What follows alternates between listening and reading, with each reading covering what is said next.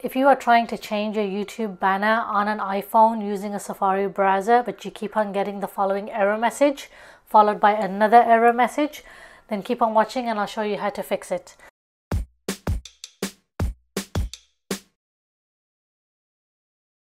So the first thing you're going to do is open up your settings app and scroll down to the Safari settings. And before I continue, I'm just going to remind you guys to please give this video a like and hit the subscribe button with your notification bell turned on.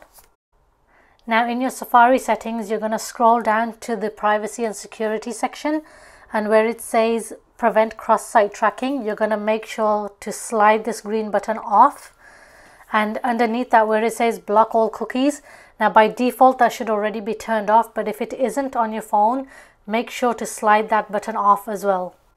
Now continue watching because this may or may not work for you the first time round as it did with me.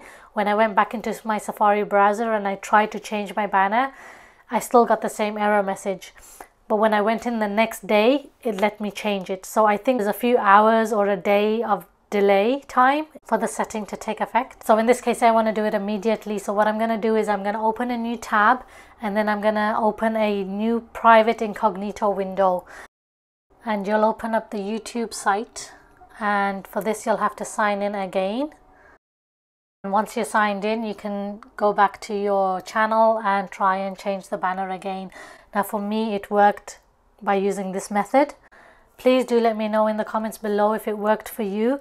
And also the next time you do want to change your YouTube banner you don't need to go through all of this again. You, because you've already fixed the problem in your settings app you can just change your banner in your regular browser going forward.